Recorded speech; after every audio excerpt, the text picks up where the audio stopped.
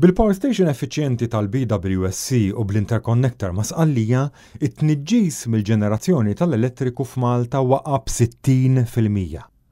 Dan hu x'fissru dawn iż-żewġ proġetti kbar tal-Gvern Nazzjonalista, waqgħa kbira fit-tniġġis u aktar. L-ewwel, waqgħa kbira fit-tniġġis. Il-Gvern stess, f'ċifri tal-Uffiċċju Nazzjonali tal-Istatistika, qed jammetti li fl-2012, qabel daħlet taħdem il-power station tal-BWSC, it-tniġġis mill-ġenerazzjoni tal-elettriku kien fuq 2,000 CO2 equivalent kilotons. Kif daħlet taħdem il-power station tal-BWSC, dan naqas għal fuq 1,600, waqgħa ta' 20 fil-mija. Mhux talli l-power station tal-BWSC jiġifieri ma kinitx fabbrika tal-kanċer, kif gideb, ma tistax tgħid mod ieħor, Joseph Muscat. Talli naqset it-tniġġis, kif qed ikollu jammetti biċ-ċifri, għax fiha hemm apparat apposta biex inaddaf id-duħħan bit-tniġġis qabel joħroġ fl-arja. Is-sena l-oħra mbagħad bdejna nduqu l-frott kollu tal-interconnector tal-Gvern Nazzjonalista u t-tniġġis reġa' waqa' issa għal fuq tmienmija.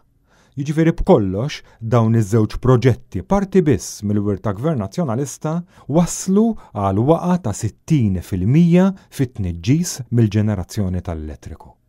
U dak it-tniġġis biss.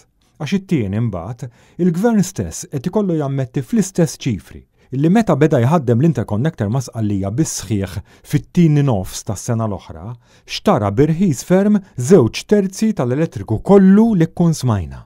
żewġ terzi. Mill-interconnector, il-Gvern ta' Joseph Muscat qed jixtri l-elettriku anki bi tliet ċenteżmi kull unit meta lill-konsumaturi qed ibeħħulhom imbagħad mill-anqas bl-għaxar ċenteżmi u min jikkonsma fuq il-minimu bi prezz ferm ogħla. Imma minkejja l-prezz irħis tal-elettriku li bih qed jixtri mill-interconnector tal-Gvern Nazzjonalista, Joseph Muscat ftieham ma' power station ġdida privata. li jixtri dak kollu li tipproduċi, jixtrih bl-għaxar ċenteżmi u jixtrih għal tmintax-il sena sħaħ bilfors. U din tinten. U għalhekk illi power station ġdida privata żejda kellu bżonnha mhux il-poplu Malti illi llum qed jara bil-provi l-għaqal tal-Partit Nazzjonalista imma kellu bżonnha min minn Kastilja hekk kif tela' Beda jiftaħ il-kontijiet u l-kumpaniji sigrieti fil-Panama.